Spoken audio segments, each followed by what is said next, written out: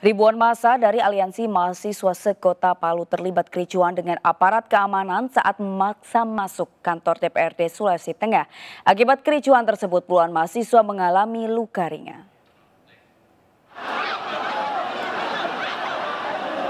Aksi saling dorong terjadi antara pengunjuk rasa mahasiswa dan aparat kepolisian di depan kantor DPRD Sulawesi Tengah di Jalan Samratulangi, Rabu siang.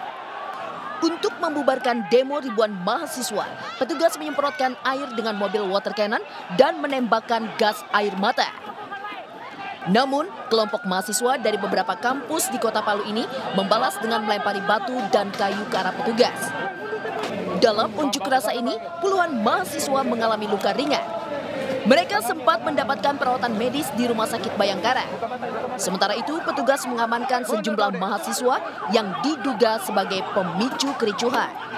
Sebelumnya, aksi demo mahasiswa yang menolak RUU KPK dan RKUHP sempat negosiasi dengan polisi untuk menemui anggota dewan yang baru dilantik.